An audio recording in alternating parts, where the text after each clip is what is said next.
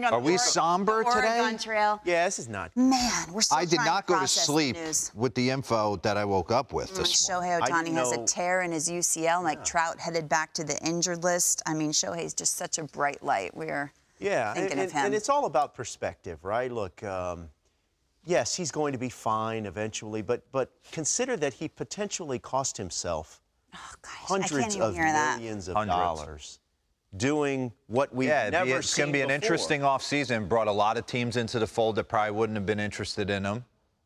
Yeah. And then Does he says, like, sign like a sweetheart deal and, and, and you know like a one or two year deal to kind of Because there's a regroup? chance- Is there a team out there willing to give him a long term? Because conventional wisdom says there's a chance he will we will not see him on the mound until he's 31 years old, something somewhere around that, as he's entering his free agent season. And it brings the Angels into fold. He's comfortable there. Into the mix as far as retaining him, right? Yes. When you think about them two years ago and then a year ago and at the trade deadline and what they did. And then he says, I can hit in a second. I can Yeah. hit. I can still hit. Oh, my goodness. Hope the hey, best we, for him. we hope for the best. And then Trout Betty. goes back on the IL. JP Morosi is going to join us a little bit later to kind of give us more of the details. Oh, yeah.